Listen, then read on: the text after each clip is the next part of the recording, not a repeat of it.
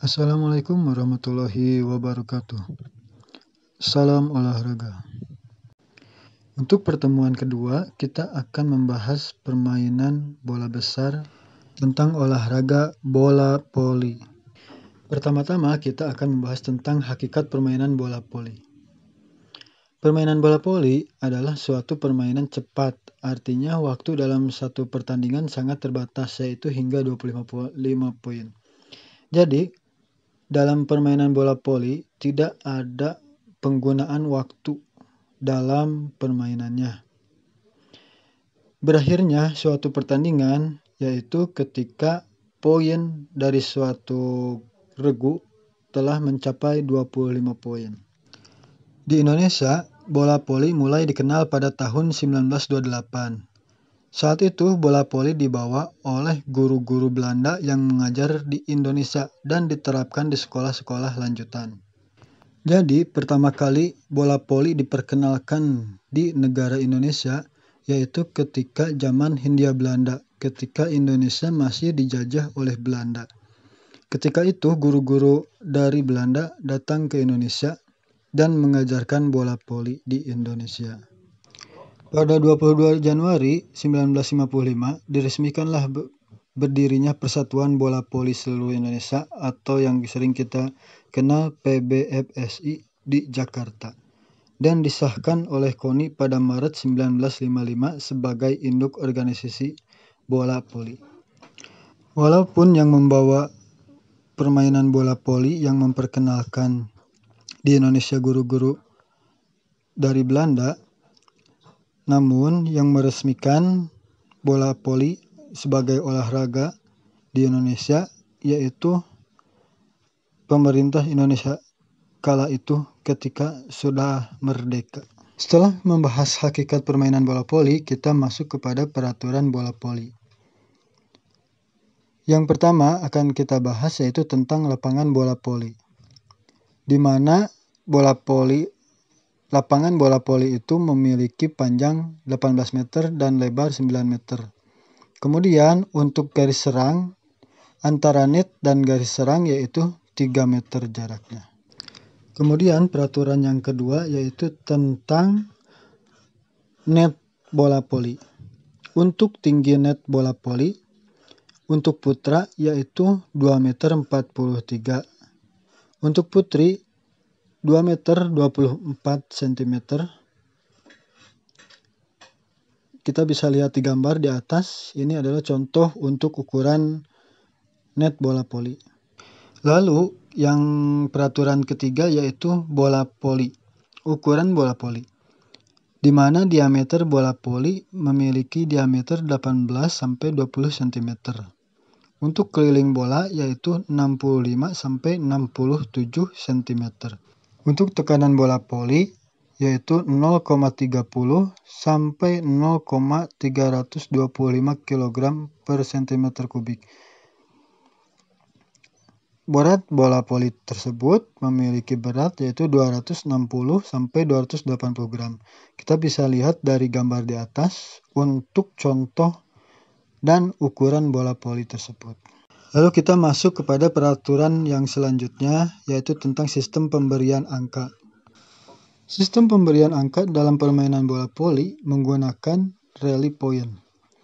Yang dimaksud dalam rally point tersebut yaitu ketika satu tim dapat mematikan bola ke musuh, maka tim tersebut mendapatkan nilai satu poin, kemudian mendapatkan servis Lalu, tim yang terlebih dahulu memperoleh 25 poin dengan minimal selisih dua angka dinyatakan sebagai tim yang memenangkan permainan. Jika kedua tim sama-sama memperoleh poin 24, permainan akan dilanjut hingga terjadi selisih dua angka. Lalu kita masuk kepada peraturan berikutnya. Peraturan berikutnya yaitu kesalahan dan ketidaklengkapan regu.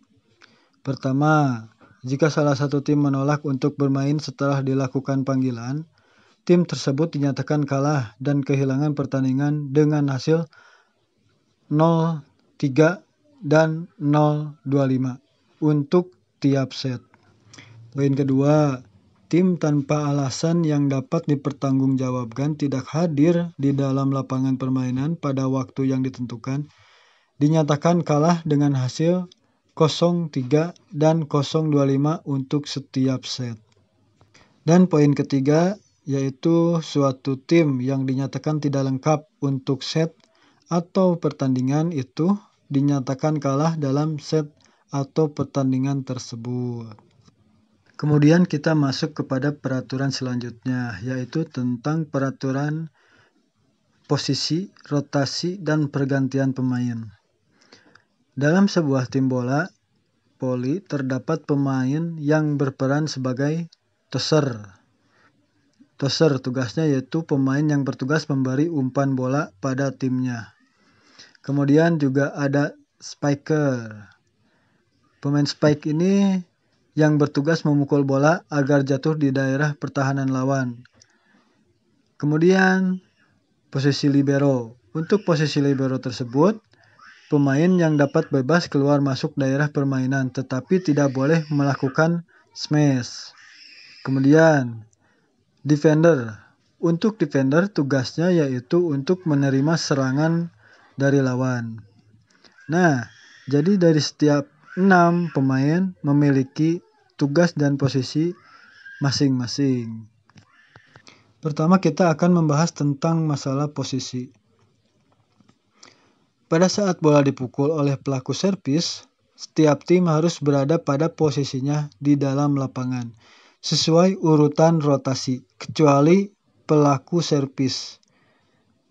Posisi permainannya, tiga pemain berada di dekat net, Tiga pemain yang lain adalah pemain baris belakang atau defender.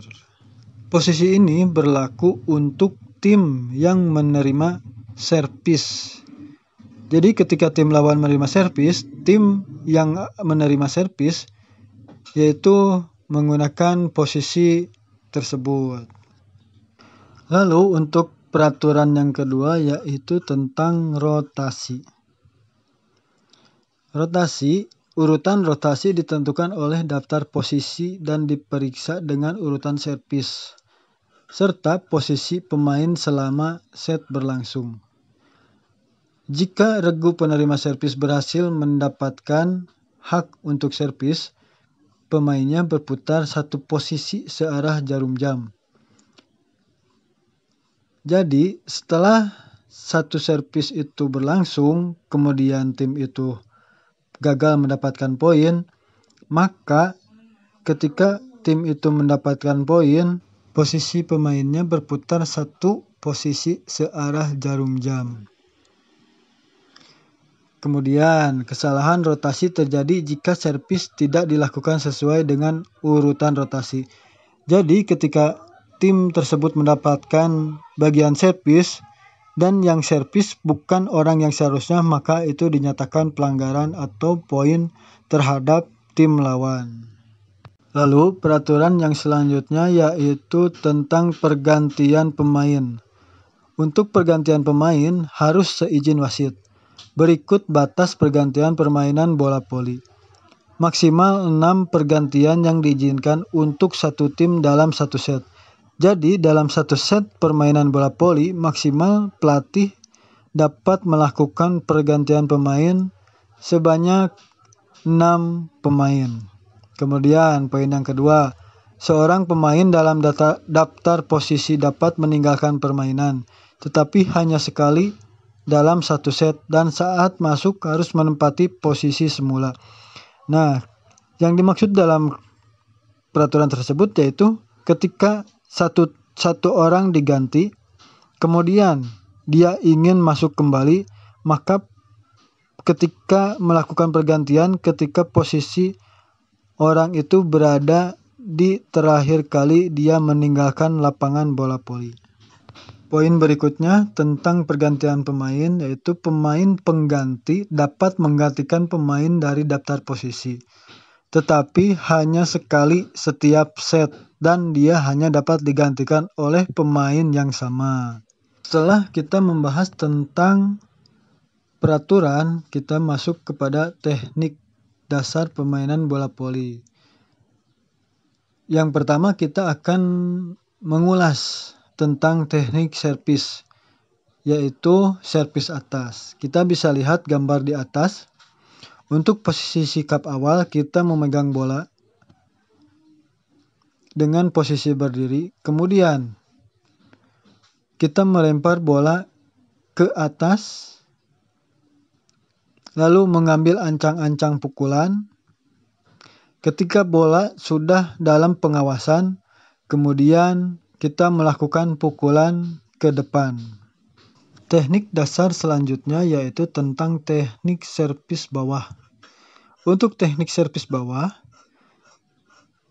pertama posisi awal memegang bola dengan posisi berdiri. Kemudian agak membungkuk, lalu tangan mengayun ke belakang. Setelah itu, bola dilempar sedikit ke atas dan setelah bola dalam pengawasan, lengan yang berada di belakang diayunkan ke depan hingga mengenai bola, sehingga bola menuju ke arah depan dengan sedikit melambung ke atas.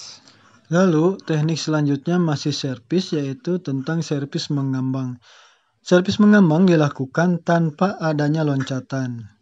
Servis ini hampir sama dengan servis atas, namun ketika servis atas si tangan mengenai bola, kaki dan badan melakukan jam atau sambil jam servis. Nah, untuk teknik servis mengambang, si kaki masih tetap menapak di kaki dan tidak melakukan jam. Kita bisa melihat untuk contoh simulasi gambar yang ada di atas. Untuk lebih jelasnya, kalian bisa melihat video-video tentang permainan bola voli. Selanjutnya, kita akan membahas tentang teknik passing. Yang pertama, kita akan membahas tentang passing bawah. Kita bisa lihat gambar yang di samping kiri ini. Untuk passing bawah, posisi tangan mengepal, saling mengepal, dan posisi lengan lurus ke depan. Selanjutnya, pasang kuda-kuda dan posisi tangan ke depan. Setelah bola datang dari arah depan, posisi kaki agak sedikit menunduk. Ketika bola sudah semakin mendekat dan mengenai tangan, kaki mulai lurus dan tangan mulai mengayun ke atas sehingga bola dapat memantul ke tangan sehingga arah bolanya menuju ke atas. Untuk passing bawah ini sering digunakan untuk memberikan bola atau menahan bola pertama dari servisan lawan.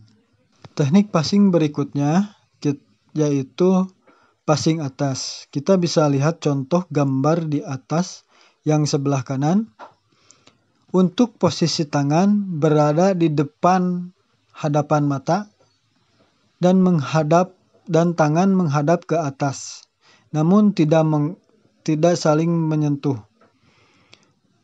Kita bisa lihat gambar di atas.